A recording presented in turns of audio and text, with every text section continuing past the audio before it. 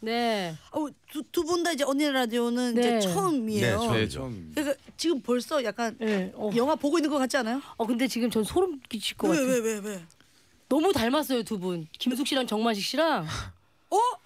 부리부리 아, 내 얼굴이 약간 있네? 부리부리과시죠.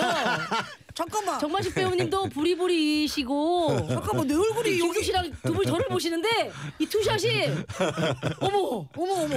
아 그러니까 잠깐만 눈이랑 입이랑 보조개만 없다 뿐이지.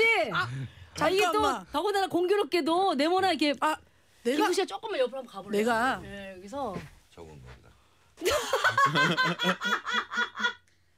아니 저는 제가 그 정만식 씨가 저 처음 봤다고 생각을 못한 게 네. 너무 익숙한 거예요. 네. 나는 뭐 TV나 영화에서 너무 많이 봤지만 네. 왜 이렇게 익숙한가 했더니 아 우리 친척 얼굴이 있네요. 네. 친척 얼굴이 있어. 수기 씨도 싸움 잘하나 봐요. 싸움이요? 왜요?